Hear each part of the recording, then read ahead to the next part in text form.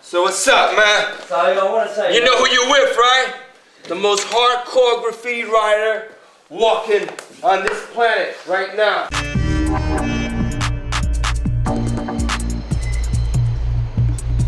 The city was in chaos. You had crack, crime, running rampant. You had these graffiti writers that were expressing that chaos. I was basically all city in New York. You know, I was going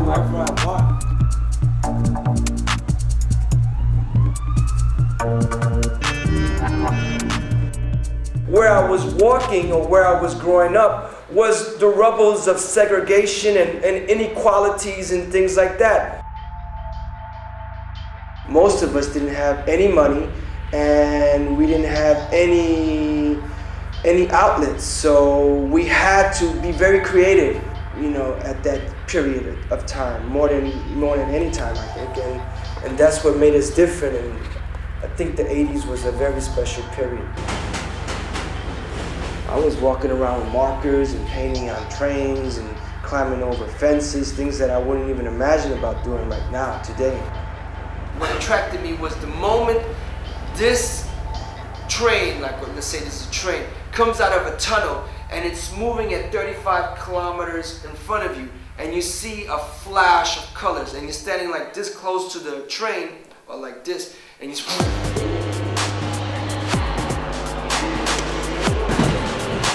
like uh, a, a out of focus camera, you know?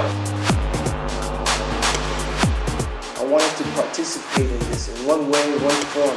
There was the music, the break dancers, there was the MCs. And I came out with this crazy looking, what you would call it, abstract style in the streets. So people in the beginning were saying, what the fuck is that shit? You know, it serves good, it serves as a background. Because people, they want immediate reactions and immediate gratification and um, immediate understanding, but I was trying to evoke more of a feeling than anything else. So that's how the whole abstract and the whole freestyle of what I was doing came into effect. There was a very few people like me that were doing this type of forms and experimenting with other types of mediums and not just using um, spray cans. So I would use acrylics on trains and, and brushes I would bring and, and, and mix it up with spray paint.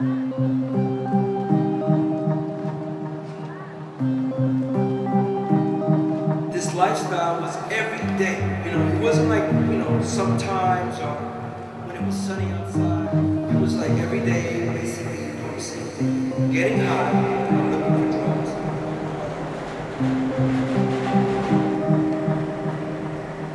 Like Lady Pink said, there was two different types of people that were painting in, in that period. There was either the people that were taking the risk and painting on trains, and then there were like these um, artists that weren't taking no risks and they were just doing nice walls and you know. I was able to survive for six or seven years continually bombing the system, you know, and putting my name around. So when I came to, to Paris, I was just like, you know, I came here to uh, paint a wall. I was just burnt, you know, I was completely toasted and, you know, that I was at my last rope of life. They had this place in Stalingrad, which was like the mecca of European graffiti. So I came here to see for myself what they were doing because I had seen some pictures from Bando.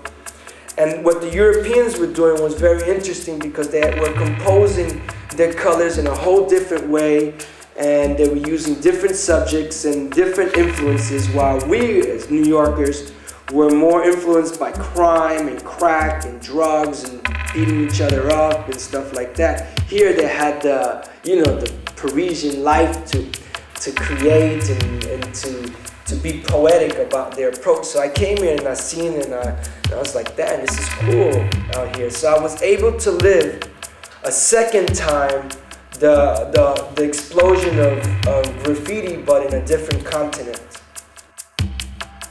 I tried to go one step higher, which was um, painting on canvas and trying to to refine my communication. Stand for the streets, you know. I'm not trying to sell myself out. What I'm basically doing now is the same shit I was doing back in the days, you know, but I'm just applying it to a different medium. Stencil art is bullshit. Where do they get the rough edge from? They get it from these guys right here. You know? Try to do a stencil on the side of a train. You gotta give a couple credit. A couple of them are cool, it's not the same thing. I ain't gonna open up no doors. Like no one's ever opened up doors for me. So just know that I'll be, I'll be, I'm be the one that's gonna be like, yo, this shit's bullshit. It's fucked up. You know, like, you know, I know 10 billion other artists that are much better than that. Gotta pay some sort of dues.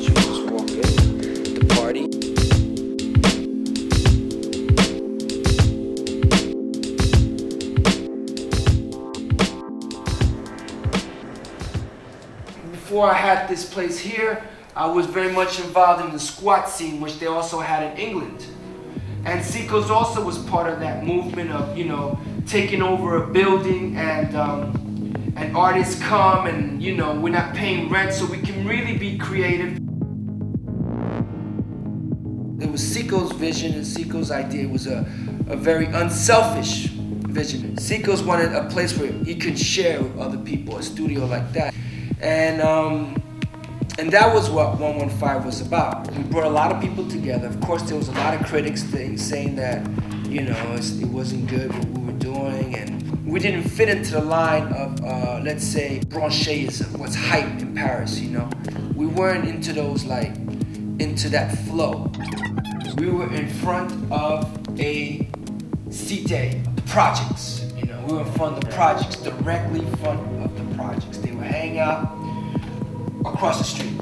And you would think that they would be more, uh, you know, understanding, coming that we were graffiti artists coming from the streets and they would like, you know, they would know we were in the same battle, in the same sort of like struggle.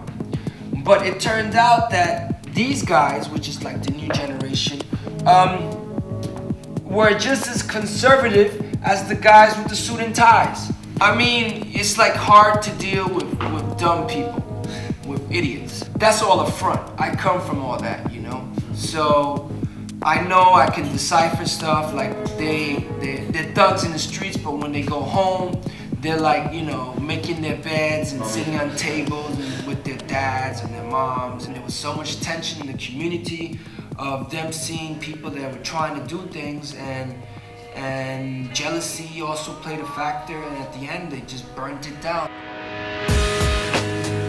It's easy to to um, destroy rather than to create.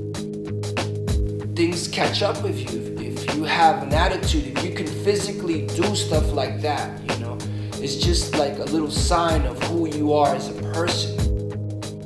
There's no way you get get ahead you know things will just crumble you know, implode, you wouldn't explode. Like this is what I'm doing as an artist. And this is meant to explode, you know. People see it people will criticize it. Some people find it good, some people find it bad, but there's an exchange around it. And when you're into doing stuff like that, which is burning and destruction, there's no exchange. It's just like um, um, you implode. I respect religions and people's spirituality and also I respect art. You know, I don't destroy people's art, and, you know, because I, I know that the importance of, making people dream and having themselves a, a purpose in life. That's our role as artists. You know, that's what gives the little spice of life. You know, or else everybody would just be basically doing the same things. And maybe at the end, this um, something will come out of it. You know, there'll be his vision will come into reality. We will have a place in Paris